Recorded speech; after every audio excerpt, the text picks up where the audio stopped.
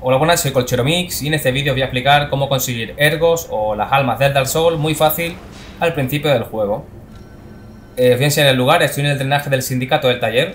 Es la tercera fase, la segunda fase es la del ayuntamiento, tenéis que pasar al ayuntamiento y derrotar al boss al vigilante desechado.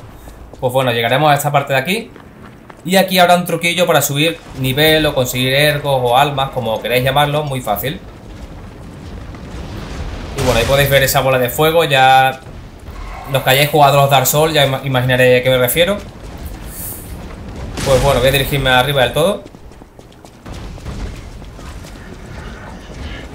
Intenta que la bola no os dé. Bueno, aquí ya me voy a comer, pero bueno.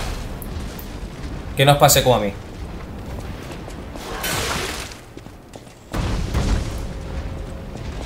Pues llegamos al final del todo y vamos a matar a este tío. Lo cogemos por la espalda y lo matamos rápido. Pues bueno, aquí ya nos quedamos disfrutando como la bola se carga a los enemigos. Es tan sencillo como eso, como subir aquí, arriba del todo, matáis al tío este de aquí y la bola ya se encarga de mataroslo a todos.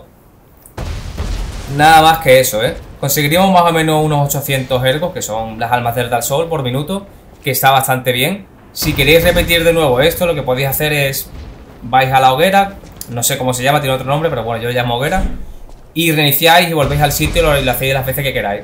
Está bastante bien, ya que digo como que los enemigos estos no son tan fáciles. Y también podéis conseguir lo que son objetos, que los podéis vender y demás. Y nada, esto ha sido el vídeo, espero que os sirva de ayuda. Un saludo.